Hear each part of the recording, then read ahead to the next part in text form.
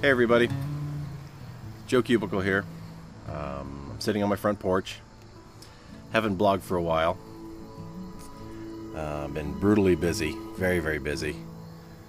But it's Friday, and it's what uh, September 18th, Friday, 6:45 in the p.m. I'm really excited because in just two hours and 45 minutes, there's an Indy race from Suzuka, Japan at the Twin Motegi racetrack. And it's an awesome racetrack. I've played it many times on my Gran Turismo um, game. There's all kinds of bugs flying around me. There's, maybe I'll get a shot of them. There's one. Tiny. Oh, went away.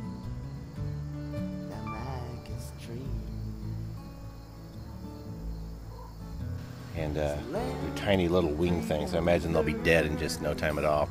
But speaking of bugs, um, today's Friday, so just four days ago, Monday, I stirred up a literal bee's nest.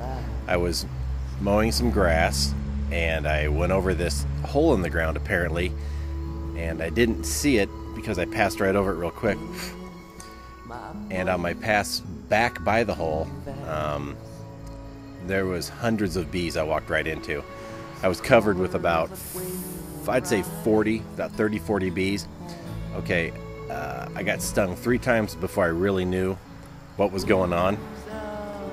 And then I got my freak out on, started swatting and swinging, running.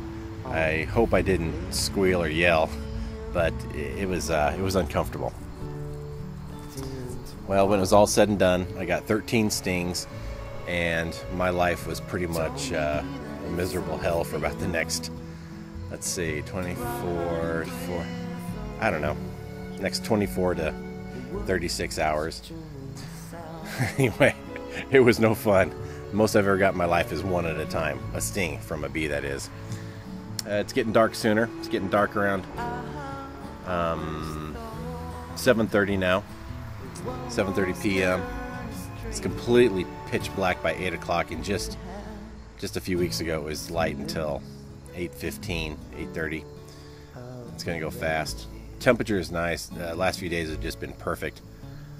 Been riding my motorcycle just a little bit more lately. I was saying go, going for a ride tonight for a little while before the race.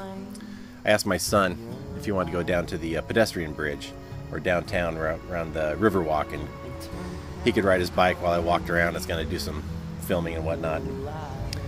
He wasn't into it, but he's got a whole bunch of kids in the backyard. They're playing, and the neighbors behind us have a hammock that's huge. Uh, I kind of don't feel like going back there again with all those bugs, but I want to say it's like a 20 foot hammock. It's crazy. They put it between these two really big trees, and it's pretty cool.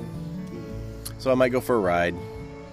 Um, I'm not really into walking. I don't want, like just to walk around the neighborhood and whatnot. So that's what I got going on, and that's how my last few weeks have been. Just uh, nothing but work, work, work, and then the weekend I just want to relax and take it easy. A few weeks ago, um, earlier this month maybe, I went down to the uh, Omaha Farmers Market. I haven't posted this video up on YouTube yet. I put it on Vimeo, so I'll put a link. Um, I'll put a link over there and you, know, you guys can follow that and go watch it.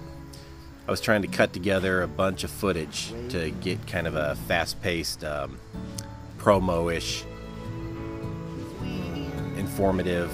I threw in two little mini quick interviews, and it turned out to be about three minutes and 20 seconds. So that I'm getting a, I'm getting to be able to make smaller videos, shorter at least.